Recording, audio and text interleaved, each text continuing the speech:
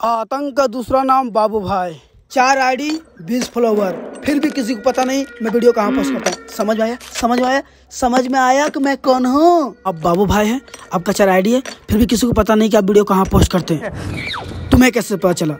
तुम्हें कैसे पता चला? कौन है वो गदर कौन है?